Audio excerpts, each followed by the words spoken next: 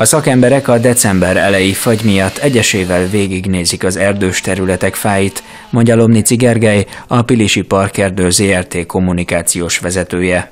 Az erdei utak járhatóvá tétele jelenleg is zajlik. A szakemberek végigjárják az erdőket, és a károsodás mértékétől függően eldöntik, mely fákat kell teljesen kivágni. A 20 ezer hektár érintett területből a mostani felméréseink, kárfelmérésünk szerint körülbelül ennek az egyharmada olyan 6 és 8 ezer hektár közötti az a terület, ami súlyosabban károsodott, tehát az erdő nem fogja kiheverni a károsítást, mindenféleképpen valamilyen további kármentesítési, helyreállítási munkára lesz szükség. Ami a fák ültetését és az erdei infrastruktúra helyreállítását jelenti. A szakembereknek azt is alaposan mérlegelniük kell, mihez kezdenek ennek a fagy miatt keletkezett nagy mennyiségű sérült faanyaggal. Az érintett erdőkben jelenleg még tart a látogatási tilalom, azonban a tervek szerint ezt a napokban feloldják.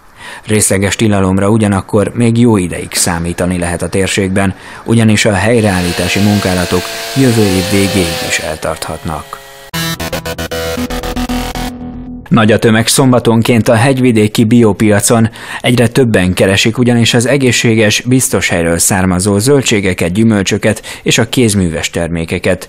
A minőség biztosítása érdekében a hegyvidéki önkormányzat általános igazgatási és hatósági irodája éves terv alapján ellenőrzi a kereskedelmi egységeket. Alapvetően székhelymódosítást adott be a biopiac, és ekkor tartottuk fontosnak, hogy minden egyes őstermelőnek az igazolását, illetőleg a kereskedelmi tevékenységét is átvizsgáljuk. Az önkormányzathoz ritkán érkezik panasz a biopiac termékeire. Ennek az lehet az oka, hogy a Biocontrol Kft. rendszeresen bevizsgálja az árusok portékáját. Amennyiben a termék nem felel meg a szigorú minőségi elvárásoknak, a biominősítést elveszik. A zöldségekből, szezonális gyümölcsökből például két hetente vesznek labormintát szúrópróbaszerűen.